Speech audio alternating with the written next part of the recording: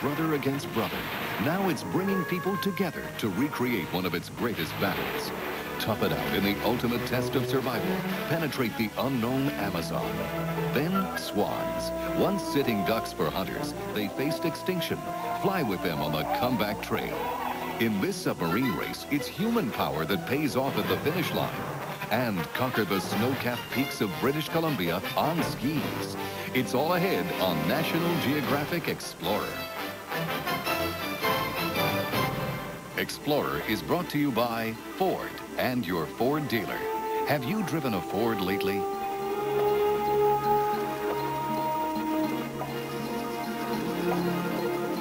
Hello and welcome to Explorer. I'm Bob Ballard. Recently, a Civil War craze has swept the country. In our first film, Explorer takes you back to October 1864 in Virginia's Shenandoah Valley, where the Confederate Army is preparing to take on Major General Philip Sheridan's Union forces.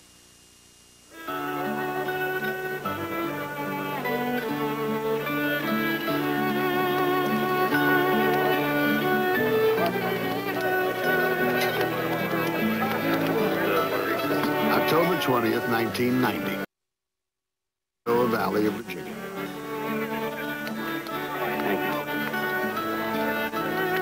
Here on this land, in the closing months of the Civil War, a battle was fought.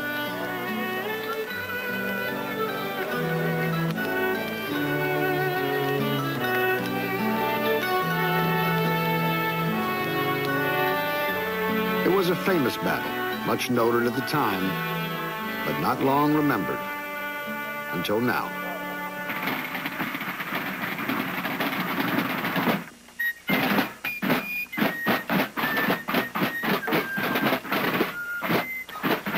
Call themselves reenactors. Weekends find them at places with names like Shiloh or Manassas or Gettysburg, preparing for battle. Some do it as a hobby, some for the love of history, and some because they're haunted by the time when we were at war with ourselves.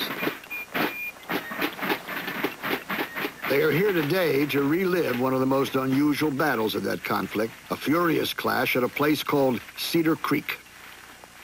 Present! Present! Oh! Sir, the parade is formed. Shoulder! Leading the Union forces is Bruce Stocking, a park ranger from Manassas, Virginia.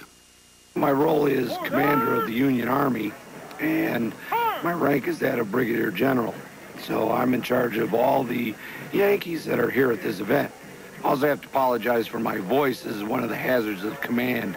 While out on battlefield, even though I have couriers and staff, uh, I end up doing some yelling, and my voice takes it every time. Uh, I work with my adjutant, Major Pickett, who's next to me, uh, with lining up brigades, who's going to be where, who's commanding what, and things such as that. I have a copy on my desk right above my Macintosh computer of an 1863 Army regulations. The pacing of the camp, how the camps are laid out, position of the officers, and I use the modern technology to recreate that so when we get on site, we get out hammer and stake and map, everything is laid out precisely. And all reenactors are, are very good at this because they'll come in, they'll find their company street, they know exactly what's expected. There are tens of thousands of reenactors in the United States, and 1,700 have come to Cedar Creek.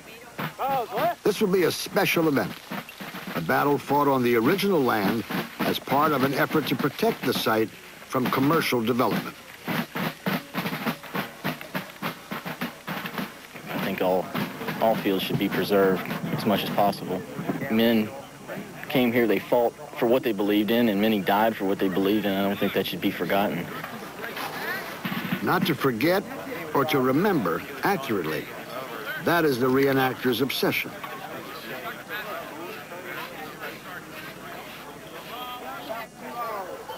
The way Hollywood has portrayed the Civil War is not correct, and we're just trying to do it the right way, the way it actually happened. And that's why our uniforms and our, our, our muskets and everything else are correct almost down to the last detail. Watch your pace. And I think that's what that's where the reenactor fits in best is, is adding color to a lot of black and white photographs and a lot of a lot of etchings and showing in the third dimension to the general public what a wall tent is, what a dog tent looks like, what a musket looks like, what what a frock coat looks like, and really uh, fleshing the image out for people so they have a much better comprehension of of what things were like then. Formation 1215. You're not to be gearing up at 1215. You're supposed to be ready at 1215. Hear that, First Sergeant? Yes, sir. I got any questions? If you want lunch, you eat it now or you don't eat. Break ranks! Break ranks! March! In any unit, you can find everything from doctors, lawyers, truck drivers, blue collar, white collar, and yet they all have the same basic mindset. I think it's a, it's a just to understand history apart from what's presented to us in the books. My family served in the Civil War, and not one, but quite a few uh, males that were able to join the Army at the time joined the Army and fought, and a few of them I know have fought here. Here, where 32,500 Union troops are bivouacked near the banks of Cedar Creek. The date is October 18th, 1864. For most of the past week, the Union soldiers have been resting.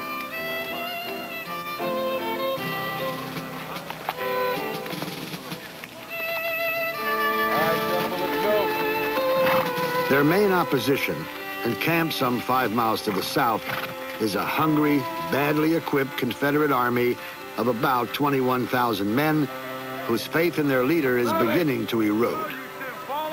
My name is George Hefner, work for the State of Maryland Military Department, also for Georgetown Tobacco. And today, I'm Jubal Early, Confederate commander of the forces in the Camp Valley Campaign. This is a big farming area for the Confederacy, actually the breadbasket of the Confederacy. We need this valley control to keep our troops and supplies coming in to help the Army of Northern Virginia carry on the campaign. By mid-October, Jubal Early faces a critical decision. Unable to feed his army, he must either retreat, the sensible move, or attack the superior Union force. Early decides to gamble.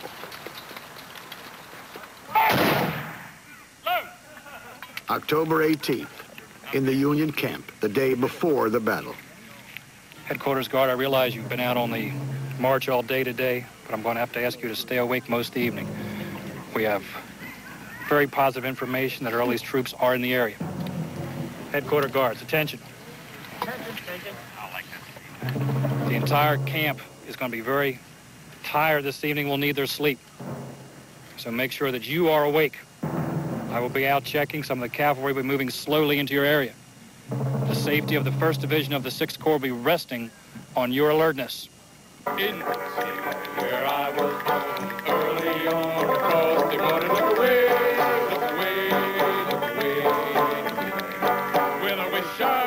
Confederate force is still encamped miles to the south, but soon they will begin to move.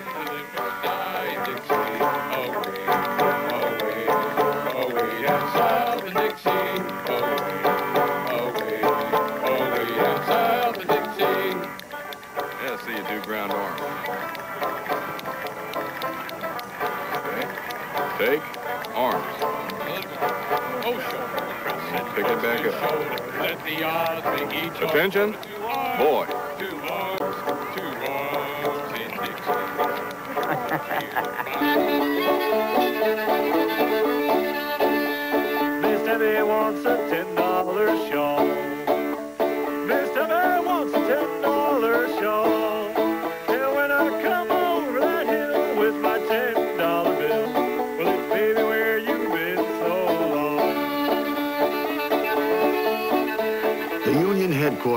Headquarters at Belle Grove Plantation, 7 p.m. The charismatic commander of the Union Army, General Philip Sheridan, is away on war business. General Wright, who has taken over in Sheridan's absence, is unaware of the impending threat. Yes, Major. I have your after-action reports that you specified for the Fisher Hill engagement. Very good. And I think this is to your specifications now, sir. Yes, that's, that's exactly what I wanted. Excellent. Right behind this tank. Start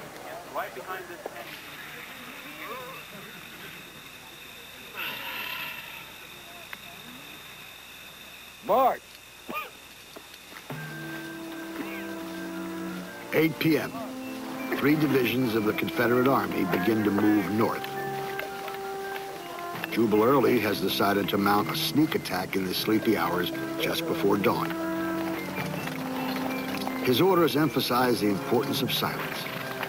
No drums, no rattling of tin cups or canteens, no speaking above a whisper. By half past three, some Confederate units are close enough to see Yankee campfires in the distance.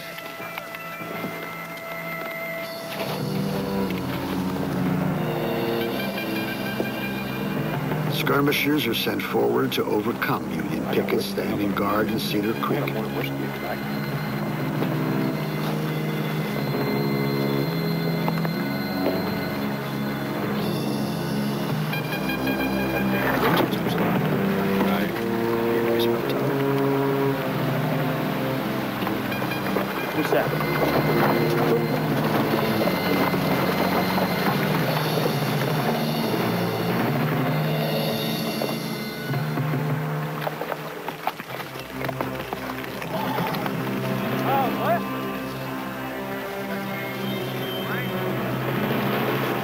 Sometime between 4 and 5 o'clock, Early's forces move into position. A few hundred yards from the still slumbering Union camp.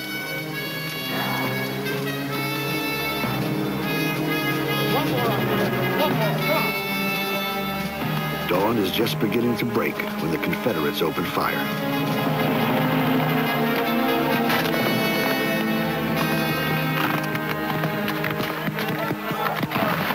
Forces are taken completely by surprise. One rebel soldier recalled, they could not defend themselves while we had nothing to do but load and shoot.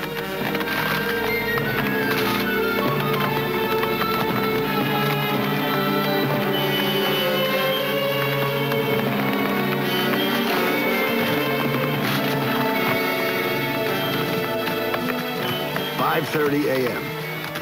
Fighting extends over a four-mile front as the rebels advance. But one Yankee brigade at the center of the battle offers fierce resistance.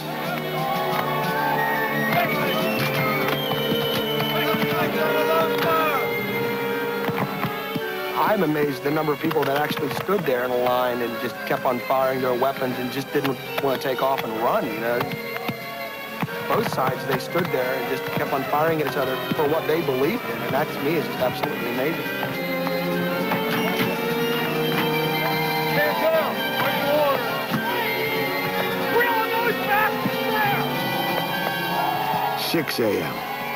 On most parts of the battlefield, the Confederate troops advance.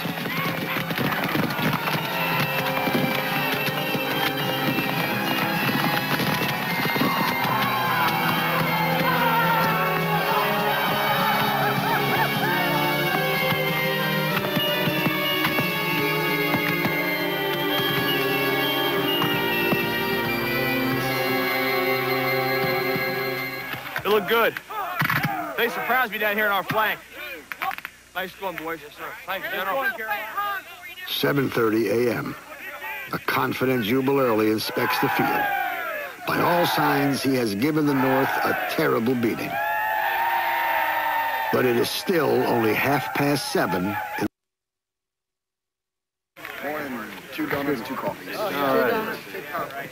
Do you want the two copies put into your pot there? Uh, well, I tell you what, I just as soon leave them in the pot. Uh, what I'll do is I'll take them like this if you don't mind. Oh, that'd be fine. All right, one more cup. Oh, okay. Can you get two cups in there? Sure can. What kind of donuts are these? These are glazed, cinnamon, and plain. You really learn stuff you can't learn in any books.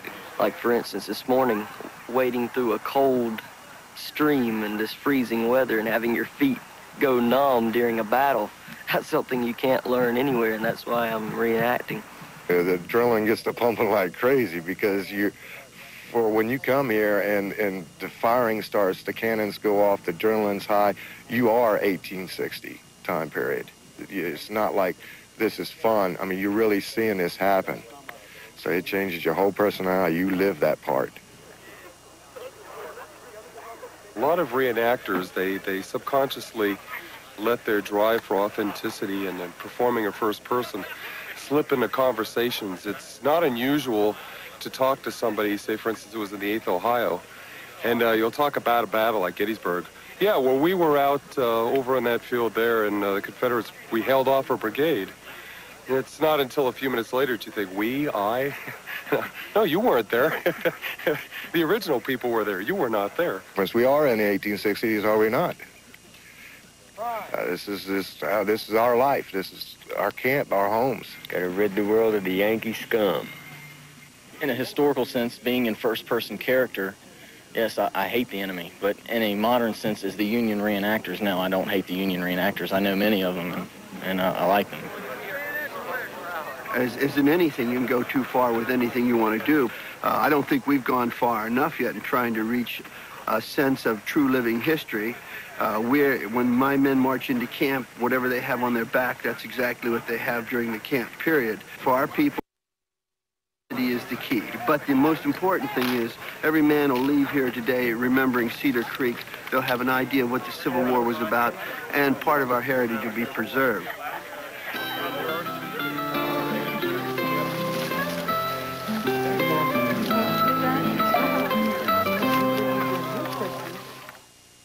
Coming up next, go to the front lines when Civil War Games continues.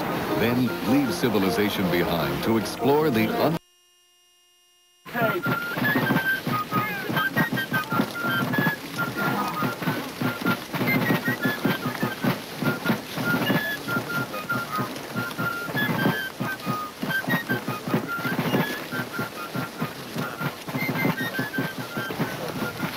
If you get into the living of history. I tell you honestly, we don't even realize the spectators or the cameras are out there. It's like being in a different world because you are learning through certain experiences things that you can never learn from a textbook. The heat, the cold, the thirst, um, what it's like to just march mile after mile after mile in, in hot wool and blisters on your feet.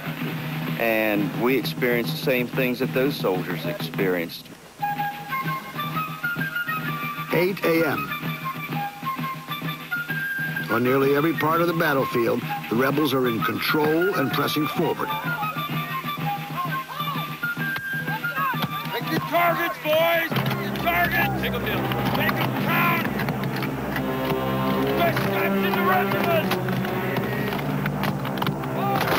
But there are still pockets of Union resistance.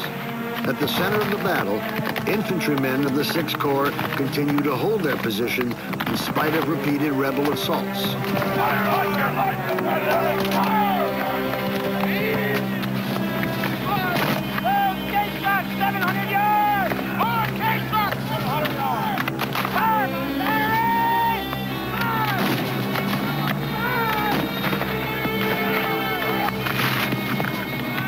When you're reenacting a scenario on an original battlefield, you are on that exact spot. You're seeing the same landforms that they saw back then. You're in the same positions that they held. And it's a very eerie feeling, but at the same time, it's, it's almost warm. And you really capture the experience of it.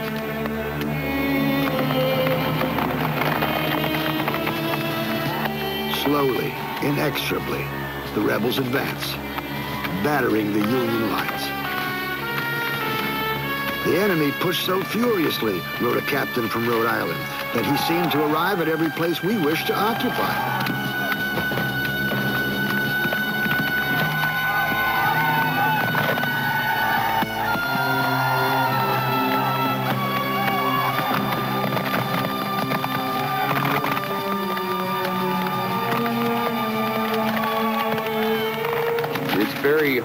Putting on stripes and assuming the responsibility. You, you have to be able not only to do the duties they did back then, but living up to that also.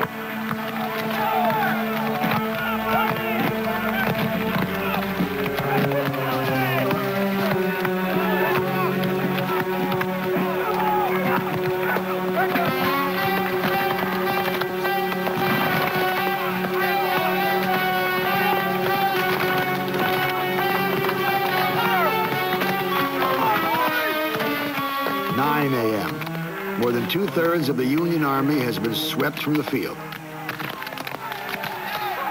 Even the Sixth Corps is pulling back, but they have bought precious time in the process.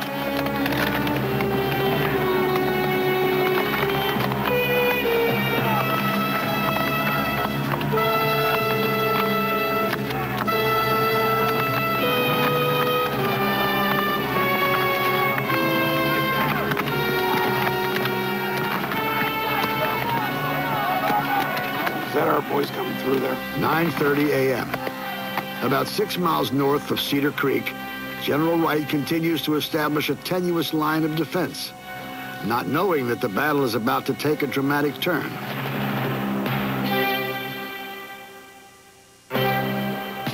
Ten a.m. Riding south from Winchester, the man known affectionately as Little Phil Sheridan can hear the sounds of battle ahead of him louder than they should be. It can mean only one thing. His army is retreating. My first thought, he recalled, was to stop the army in the suburbs of Winchester and fight there.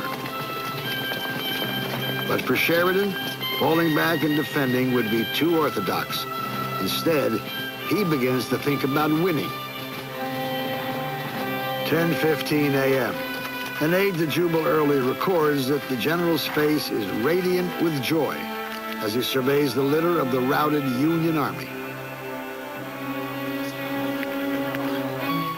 Spurning the advice of his senior officers, Early makes a decision that will haunt him the rest of his life. He orders his army to halt. I ask that you remain in this position. Thank you, sir.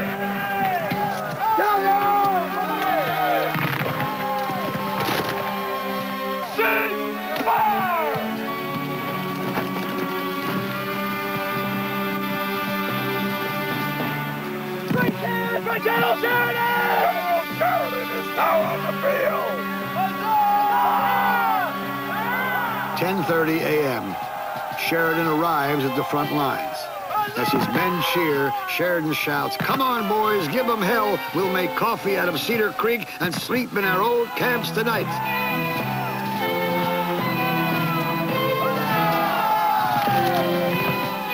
A Union major remembered that hope and confidence returned at a bound.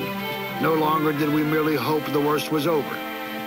Now we all burn to attack the enemy, to drive him back, to retrieve our honor, and sleep in our old camps that night.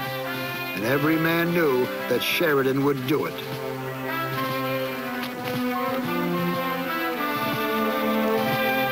Now, without pressure from Early's army, Sheridan is able to reorganize his own. 4 p.m. The momentous hour had now arrived, wrote a soldier from New York, in which the safety and honor of the army, and perhaps the fate of the rebellion, was to be decided.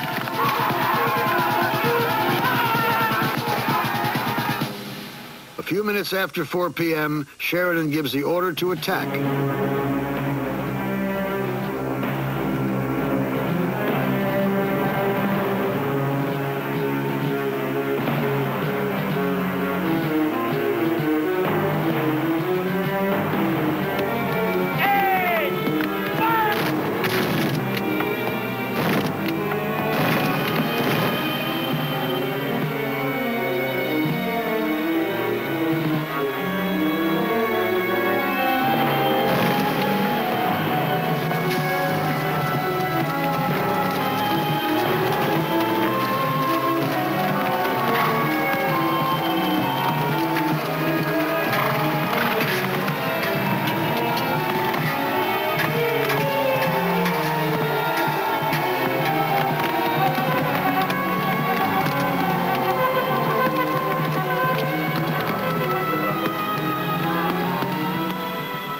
By the fury of the Yankee assault, the Confederates fall back. Then they begin to run.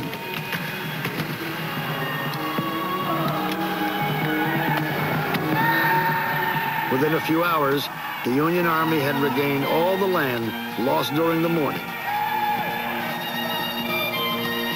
In the course of a single day, what began as an improbable Confederate victory has turned into a rout for the North. A triumph that boosts Union morale and assures the re-election of President Lincoln.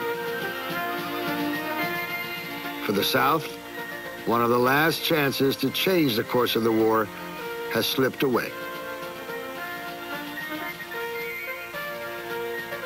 And for General Philip Sheridan, a promise is kept.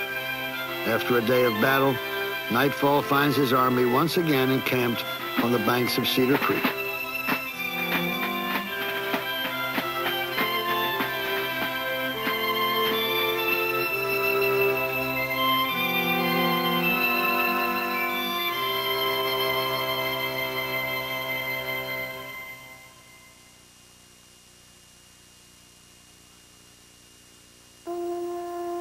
Five hundred sixty-nine Union soldiers killed. 3,425 wounded. 1,770 missing. In the chaos after the battle, records of Confederate casualties were lost. Today, we have all but forgotten the sacrifices those numbers represent. Land that was once paid for in blood now goes to the highest bidder. About two years ago, plans were underway to take 158 acres just outside this house and put on them 12 industrial sites. Plans were in the works to take 125 acres just to the other side of this house and put all the houses in there that the place could stand on or among or around a mile of entrenchments from the 19th Corps positions. Now, a person that buys this field out here and says, I'm going to put a housing development on it, will say to you, it's my land, I can do whatever I want with it. And I think about the 19th Corps soldier that came out of the trenches and ran past this house the morning of the battle. And he remembered afterward, he said, I never saw anywhere in the Civil War so much blood as I saw on the ground at Cedar Creek. He said the hard limestone soil would not receive it and the brown summer grass could not hide it. And when you look at ground that has been soaked with the blood of patriots, and you say, I own this land, and I'm going to, you are not expressing the values of America today. My great-grandfather died well over 80 years ago. But when I was out there on that battlefield yesterday, I met him. I actually feel at the time like I'm back there. It's exhilarating almost, and it's grim at the same time.